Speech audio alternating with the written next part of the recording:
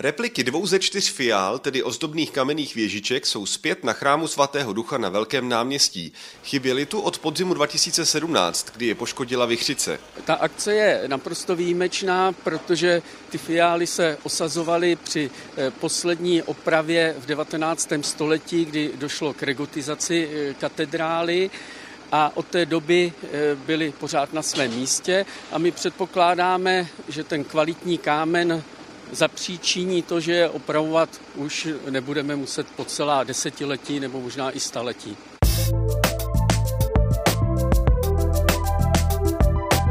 Myslím, že na tohle je potřeba, na tuhle událost, je potřeba se dívat spíš z hlediska společenského nebo i z hlediska, já nevím, turismu nebo podobně. Eh, já osobně ke katedrále vůbec, ale i k památkám mám osobní vztah, mám je rád a myslím si, že tady ty památky si zaslouží to, aby byly v pořádku. A fialy k té architektuře patří.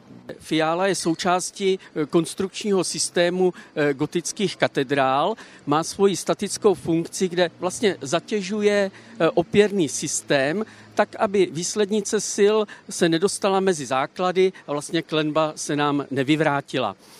Tato fiála je ale eh, z doby regotizace eh, kostela svatého ducha a má spíše už funkci výtvarnou, byť je nasazena na tom opěrném systému. Na horní části fiály ještě přijde křížová kitka a tu máme zde. Můžeme se poměrně unikátně podívat, jak ta křížová kitka vypadá z hora. Je to pohled neobvyklý, který běžně náštěvník neuvidí nebo pozorovatel ze země. V tenhle okamžik máme taky příležitost si to srovnat eh, s výškou postavy, že to nejsou vlastně žádné drobné architektonické prvky. Pak, když je osazená v té výšce eh, více než 10 metrů, tak se nám to zdá jako drobňoučký prvek. Obě repliky fial jsou vyrobeny z kvalitního pískovce a přišly dohromady na téměř milion korun. Zbývající dvě by se na své místo měly vrátit příští rok.